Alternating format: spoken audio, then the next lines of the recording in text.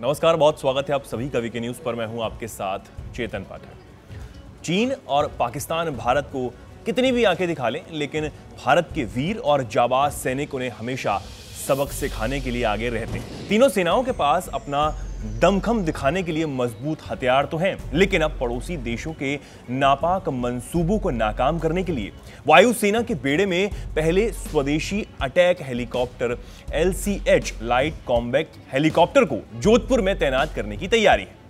तीन अक्टूबर को जोधपुर में लाइट कॉम्बैक्ट हेलीकॉप्टर को वायुसेना में शामिल किया जाएगा। पीएम मोदी, रक्षा मंत्री राजनाथ सिंह और एनएसए अजीत डोभाल एक भी मौका दुश्मन को नहीं देना चाहते कि वो हमारे देश की तरफ़ आँख भी उठाकर देख लें। इसलिए एक के बाद एक तीनों सेनाओं को मज़बूत करने का काम सरकार कर रही है। वायुसेना के बेड़े में बेहद ही एडवांस अटैक हेलीकॉप्टर अपाचे और कई शक्तिशाली विमान पहले ही शामिल हो चुके हैं। और अब पहले स्वदेशी अटैक हेलीकॉप्टर का शामिल होना वायुसेना को और मज़बूत करेगा। पीएम मोदी की अध्यक्षता वाली सुरक्षा की कैबिनेट कमेटी ने इसी साल मार्च में 15 स्वदेशी लाइट अटैक हेलीकॉप्टर खरीदने की मंजूरी दी थी। तीन हज़ार तीन सौ सत्तासी करोड़ में यह हेलीकॉप्टर एच ए एल से खरीदे गए हैं।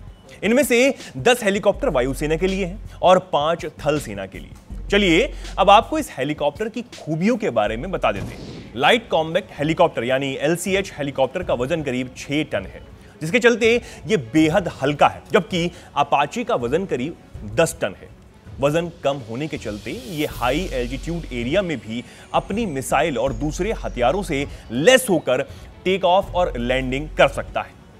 एलसीएच अटैक हेलीकॉप्टर में फ्रांस से खासतौर पर ली गई मिस्ट्रल एयर टू एयर, यानी हवा से हवा में मार करने वाली मिसाइल और हवा से ज़मीन पर मार करने वाली मिसाइल लग सकती है। एलसीएच में 70 एम mm के 12 12 रॉकेट के दो पैड लगे हुए हैं। इसके अलावा एलसीएच की नोज़, यानी फ्रंट में एक 20 एम mm की गन लगी हुई है, जो 110 डिग्री में किसी भी दिशा में घूम सकती है।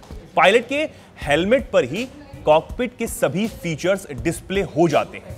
एलसीएच स्वदेशी अटैक हेलीकॉप्टर को कारगिल युद्ध के बाद से ही भारत ने तैयार करने का मन बना लिया था, क्योंकि उस वक्त भारत के पास ऐसा अटैक हेलीकॉप्टर नहीं था जो 15-16 हज़ार फीट की ऊंचाई पर जाकर दुश्मन के बंकर्स को तबाह कर सके। हालाँकि इस प्रोजेक्ट को 2016 में मंजूरी मिली।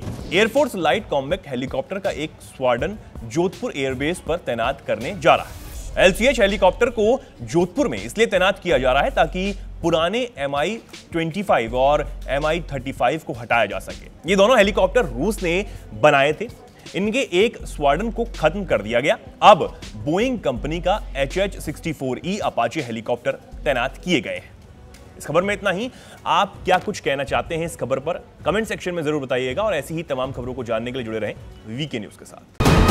वीके न्यूज़, राष्ट्र के नाम।